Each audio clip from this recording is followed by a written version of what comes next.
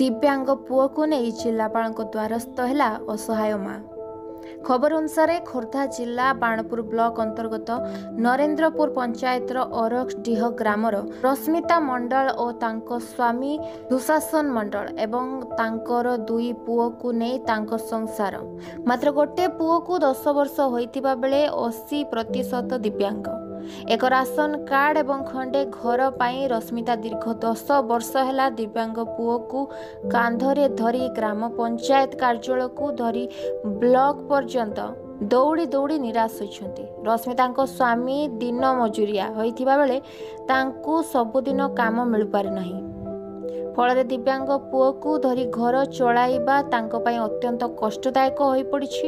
ମାତ୍ର ସେ ହାର ନ ମାନି ପୁଅକୁ ଧରି ଜିଲ୍ଲାପାଳଙ୍କ ଦ୍ୱାରସ୍ଥ ହୋଇଥିଲେ। ମାତ୍ର ଜିଲ୍ଲାପାଳ କୌଣସି ଜରୁରୀ କାର୍ଯ୍ୟରେ ବାହାରକୁ ଯାଇଥିବାରୁ ରଶ୍ମିତା ଜିଲ୍ଲାପାଳଙ୍କୁ ଭେଟି ପାରିନଥିବାରୁ ଅସହାୟ ହୋଇ କାନ୍ଦୁଥିଲେ ଏବଂ ଏହି ସମୟରେ ଆମ ପ୍ରତିନିଧି ନିମାଇ ଚରଣ ମହାରଣାଙ୍କ ନଜର ରଶ୍ମିତାଙ୍କ ଉପରେ ପଡ଼ିଥିଲା। ସେ ଘଟଣା ସମ୍ପର୍କରେ ଅବଗତ ହେବା ସାମାଜିକ ଅଧିକାରୀଙ୍କ କାର୍ଯ୍ୟାଳୟକୁ ନେଇ ଅଧିକାରୀଙ୍କ ସହ ଯୋଗାଯୋଗ କରିଥିଲେ ଏବଂ ସୁରକ୍ଷାଧିକାରୀ ପ୍ରତିଶ୍ରୁତି ଦେବା ସହ ସିଏସ୍ଓଙ୍କ କାର୍ଯ୍ୟାଳୟକୁ ଚିଠି ଲେଖିବା ସମ୍ଭାବ୍ୟ ପଦକ୍ଷେପ ନେବା ପାଇଁ ପ୍ରତିଶ୍ରୁତି ଦେଇଥିଲେ।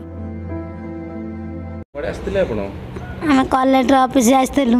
କ'ଣ ହେଇଛି ଆପଣ ଆ, ଏ ମୋର ହାଣ୍ଡିକ ପିଲାଟେ ଆମର ଘର ଦ୍ୱାର ନାହିଁ କିଛି କରେଇ ଦେଉନାହାନ୍ତି ନାଞ୍ଚ ମାଗୁଛନ୍ତି ଆଉ ପଇସା ନଦେଲେ କହୁଛନ୍ତି ରାସନ କାର୍ଡ଼ ନାହିଁ ଆଉ ପିଲାମାନଙ୍କୁ ଏତା କରିକି ଖାଇବା ପିଇବାକୁ ଯୋଡ଼େ ଦେଉନାହାନ୍ତି କରୁନାହାନ୍ତି ଆଉ ଆମେ ହଇରାଣରେ ଚଳୁଛୁ ତିନି ଚାରି ଥର ବ୍ଲକକୁ ଗଲୁଣୁ ପଞ୍ଚାୟତରେ ଯାଇକି ତିନି ଥର କି ଏ, କହିଲୁଣୁ ସେ ଶୁଣୁନାହାନ୍ତି କିଛି ନାହିଁ ଏ, ହଇରାଣ ହେଇକି ଚଳୁଛୁ। ଆପଣଙ୍କର କୋଉ ପଞ୍ଚାୟତ? ଆମର ନରେନ୍ଦ୍ରପୁର ପଞ୍ଚାୟତ ବ୍ଲକ ବାଣପୁର ହରଖଡ଼ି ଆମର।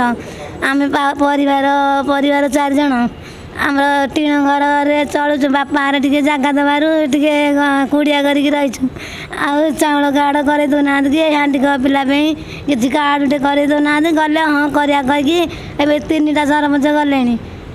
କୋଉ କେତେ ବର୍ଷ? କୁ ଦଶ ବର୍ଷ ହେଲାଣି। ତାକୁ ଚାଉଳ ମିଳୁନି ନାଇଁ ତିନି ଜଣଙ୍କର ନମ୍ବର ଥିଲା ଯେ ବୁଲୁ ଆଉ ଖଟେଇ ଆଉ ସୁର ଦାସ ଏମାନଙ୍କୁ କହିଲା କ'ଣ କହିଲେ କି ପଇସା ଦିଅ ନାଚ ଏତା କରିକି ପାଞ୍ଚ ଛଅ ହଜାର ଟଙ୍କା ମାଗିଲେ।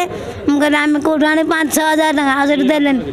ଏ, ସେ ଯେଉଁ ପଞ୍ଚାୟତରେ ମାଗିଲେ। ପଞ୍ଚାୟତରେ କିଏ ମାଗିଲେ? ଏ, ସୁର ଦାସ ଆଉ ବୁଲୁ ଏମାନେ କିଏ ସେ? ସେ ପିଅନ ରହିଲା ପିଲା ରହିଛନ୍ତି ସେମାନେ। କାଲି ତ ସରପଞ୍ଚକୁ ମାଗିଲା କ'ଣ ଦସ୍ତଖତଟେ ଦେଲାନି ଆଉ ସିଏ କେତେ କରିବ କ'ଣ? କହିଲେ ଆମେ ଜାଣିନୁ କିଛି ଆଉ ଇଏ କହିଲେ ଆମେ ମିଡ଼ିଆ ଯିବୁ। ନା ହଁ ତମେ ଯାଅ ଯାହା କରୁଛ କର।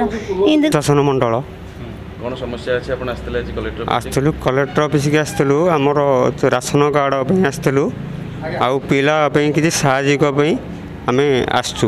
ଆଚ୍ଛା ପିଲାର କ'ଣ ହେଉଛି ଆପଣଙ୍କର? ଖ- ଖାଇବ କ'ଣ ରହିବ କେମିତି? ଘର ଦ୍ୱାର କିଛି ନାହିଁ। ମୁଁ ତ ଲେବର କାମ କରୁଛି। ଅଧିକାରୀ ଖୋର୍ଦ୍ଧା ମୋ ଜିଲ୍ଲାପାଳଙ୍କ ଗୋଟେ ଗ୍ରିଭାନ୍ସ ଜଣେ ଆସିଥିଲେ ତାଙ୍କର ନାଁ ହେଉଛି ଦୁଶାସନ ମଣ୍ଡଳ।